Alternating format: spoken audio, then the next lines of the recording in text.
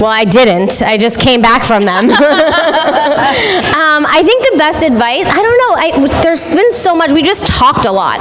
You know, we've, we've just had a lot of good girl talk and a lot of laughs, and I think that was the coolest thing. You know, when, when you decide to have a coach be Christina Aguilera, your preconceived notion is like diva down. Like how am i to get in how are we to connect you know? So just the fact that we did on so many levels and that it was never weird. It was i never felt awkward. I never felt like i couldn't be myself.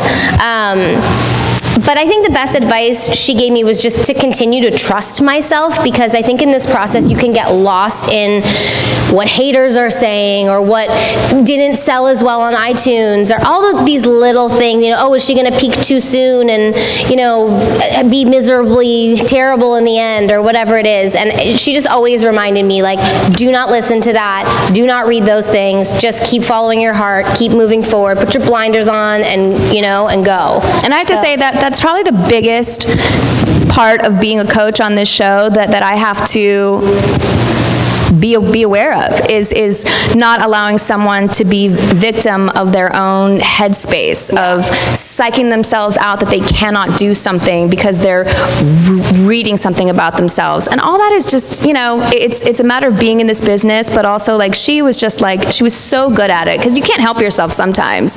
But at the same time, you know, you, you, you just can't do it because everyone is probably, I don't know, you just have to, you just have to. Wishing they were you. you just have to stay out of your head. It can get really heady. You know, you're in front of millions of people and, oh my God, did I make a mistake? Did I sing the wrong song? Did I, you know, is everybody going to hear that weird note that I hear? You know, so it's just a lot of things. And, and she just always told me, you know, just keep going. Don't, don't worry about any strong. of that. You're so strong.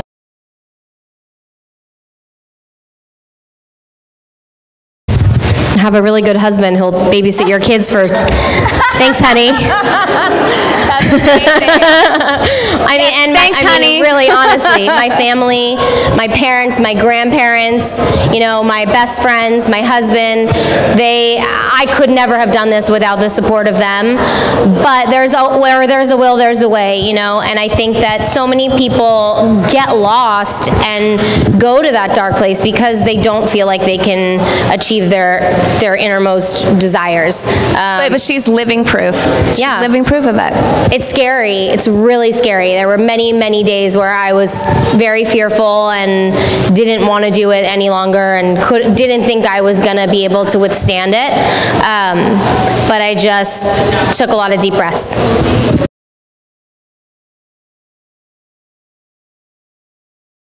Oh my gosh. Well, obviously Christina first, but um, no, you know, I've admired these women for so long. I mean, I, I, tell Christina all the time, I would, if I was on the freeway for an extended amount of time, I would play her Spanish album and do every My single Spanish run. Album. I don't know, it's really, you did like the best runs on that album. So it was like every run I would do in harmony.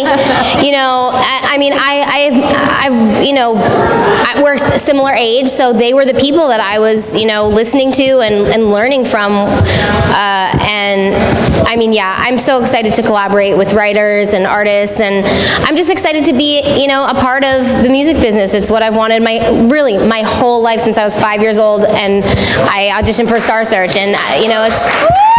I've never, never stopped wanting that. And uh, honestly, at this point, I just think the sky is the limit. I'm just excited to, to move forward and make a living doing what I love.